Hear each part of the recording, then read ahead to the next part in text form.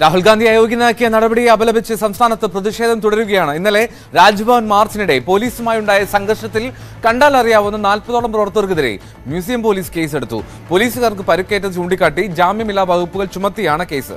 Kozhikode railway station മാർച്ചിൽ D C C president ഉൾപ്പെടെ കണ്ടാൽ അറിയാവുന്ന മുന്നൂറ് പേർക്കെതിരെ കേസെടുത്തിട്ടുണ്ട്. ആർ പി എഫ് എസ് ഐയുടെ പരാതിയിലാണ് കേസ്. രാഹുൽ ഗാന്ധി വിഷയത്തിൽ സംസ്ഥാന സർക്കാരിന് ഇരട്ട നിലപാടാണെന്ന് പ്രതിപക്ഷ നേതാവ് വി ഡി സതീശന് വിമർശിച്ചു. ഒരു വശത്ത് പിന്തുണ എന്ന് പറയുന്നു മറുവശത്ത് പ്രതിഷേധക്കാരെ ക്രൂരമായി വേട്ടയാടുകയാണെന്നും സതീശൻ കുറ്റപ്പെടുത്തി. തിരുവനന്തപുരത്ത് നിന്ന് ഡാൻ കുര്യനും കോഴിക്കോട് നിന്ന് വിനേഷ് കുമാറുമാണ് ചേരുന്നത്. ഡാൻ പ്രതിപക്ഷ നേതാവ് ഇന്നലത്തെ രാജ്ഭവനിലുണ്ടായ സംഘർഷത്തിലും പിന്നീടുണ്ടായ നടപടികളിലും ഓക്കെ നമുക്ക് ഡാനിലേക്കും വിനേഷിലേക്കും പോകുന്നതിന് മുമ്പ് പ്രതിപക്ഷ നേതാവിന്റെ വാക്കിലേക്ക് പോയിട്ട് വരാം. കേരളത്തിലെ മുഖ്യമന്ത്രിയും സി പി എമ്മും ഒരു വശത്ത് രാഹുൽ ഗാന്ധിക്ക് പിന്തുണ നൽകി പ്രസ്താവനകൾ പുറപ്പെടുവിക്കുമ്പോൾ മറുവശത്ത് സമരം നടത്തിയ പ്രതിഷേധം പ്രകടിപ്പിച്ച youth Congress K S U പ്രവർത്തകരെ ക്രൂരമായി വേട്ടയാടുന്ന സംഭവമാണ് നടക്കുന്നത്. ഇന്നലെ രാജ്ഭവനിന് മുന്നിലും ഇന്നലെ കോഴിക്കോട് നടന്നത് ക്രൂരമായ പോലീസ് നരനായാട്ടാണ്.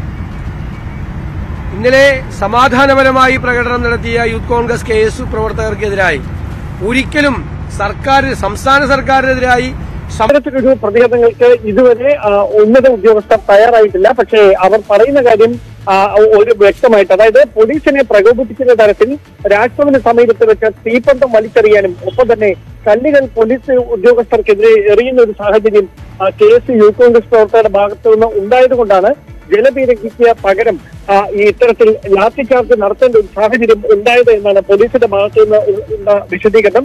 ആ പശ്ചാത്തലത്തിൽ കൂടിയാണ് കണ്ടാൽ അറിയാവുന്ന നാൽപ്പതോളം പേര് അതിൽ തന്നെ പത്ത് പേരുടെ പേര് വ്യക്തമായിട്ട് അറിയാം. മറ്റ് മുപ്പത് പേര് കണ്ടാൽ അറിയാം. ഇങ്ങനെ നാൽപ്പതോളം പേർക്കെതിരെയാണ് ജാമ്യമില്ലാ വകുപ്പ് ചുമത്തി. ഇന്ത്യൻ ശിക്ഷാ നിയമത്തിലെ മുന്നൂറ്റി മുപ്പത്തിരണ്ടാം വകുപ്പ് പ്രകാരം ജാമ്യമില്ലാ കുറ്റം ചുമത്തി കേസെടുത്തിരിക്കുന്നത് ഇവരെ അറസ്റ്റ് ചെയ്യുന്നതടക്കമുള്ള തുടർ നിയമ നടപടികളിലേക്ക് മ്യൂസിയം പോലീസ് നീങ്ങും എന്നാണ് നമുക്ക് ഉദ്യോഗസ്ഥരുടെ ഭാഗത്ത് നിന്ന് ലഭ്യമാകുന്ന സൂചന.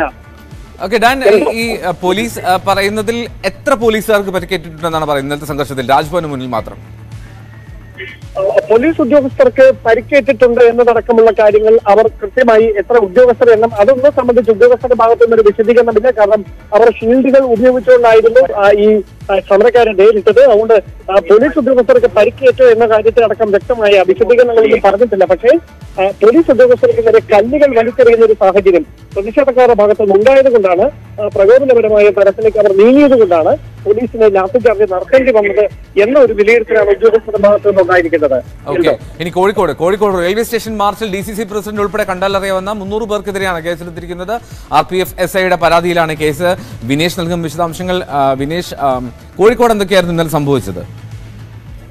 എൽദോ ഇന്നലെ രാത്രി ഒമ്പത് മണിക്ക് ശേഷമാണ് കോൺഗ്രസ് പ്രവർത്തകർ റെയിൽവേ സ്റ്റേഷനിലേക്ക് മാർച്ച് നടത്തിയത്. റെയിൽവേ സ്റ്റേഷനിലെ മാർച്ചിനിടയിൽ പലയിടത്തും സംഘർഷമുണ്ടായി. ടയറും മറ്റും കത്തിച്ച് റോഡിൽ എറിയുന്ന ഒരു അവസ്ഥയുണ്ടായി ഗതാഗതം ഈ സമയത്ത് സ്തംഭിച്ച ഒരവസ്ഥയായിരുന്നു ഒപ്പം തന്നെ റെയിൽവേ സ്റ്റേഷൻ പരിസരത്തുള്ള ബോർഡുകളും മറ്റെല്ലാം ഈ കോൺഗ്രസ് പ്രവർത്തകർ ഇളക്കുകയും മറ്റും ചെയ്തിരുന്നു. ഇതെല്ലാം തന്നെ പ്രശ്നങ്ങളുണ്ടായി. ഇതേ തുടർന്നാണ് ഇപ്പോൾ മുന്നൂറ് പേർക്കെതിരെ പോലീസ് കേസെടുത്തിട്ടുള്ളത്. റെയിൽവേ സ്റ്റേഷനിലേക്കുള്ള മാർച്ചിന് നേതൃത്വം നൽകിയത് Kozhikode D C C president advocate Praveen കുമാറാണ്. പ്രവീൺ കുമാർ ഉൾപ്പെടെയുള്ളവർക്കെതിരെയാണ് ഇപ്പോൾ പോലീസ് കേസെടുത്തിട്ടുള്ളത്. ഓക്കെ വിനേഷ് കുമാറും ഡാൻ കുര്യനുമാണ് വിശദാംശങ്ങൾ നൽകിയത്. തിരുവനന്തപുരത്ത് നിന്നും കോഴിക്കോട് നിന്നും പോലീസ് കേസെടുത്തിരിക്കുന്നു. പ്രവർത്തകർക്കെതിരെ പ്രതിഷേധിച്ചവർക്കെതിരെ. കൂടുതൽ വാർത്തകളിലേക്ക് എത്താം. ഒരു ഇടവേളയ്ക്ക് ശേഷം.